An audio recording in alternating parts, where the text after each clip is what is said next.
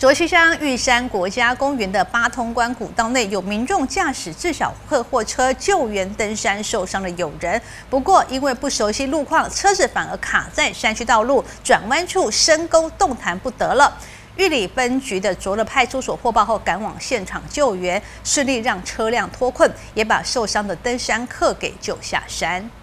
卓溪乡玉山国家公园八通关古道内，有民众驾驶自小客货车救援登山受伤的友人，因为不熟路况，车辆卡在山区道路转弯处深沟，动弹不得。玉里分局卓乐派出所获报之后，赶往现场救援，顺利让车辆脱困，并将受伤的登山客救下山。登山客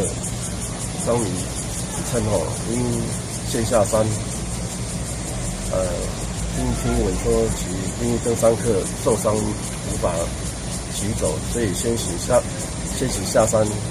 再开车到呃瓦拉米登山步道内，再通知辖辖区的呃有吉普车性能的可以抢救的车辆哦，一同上山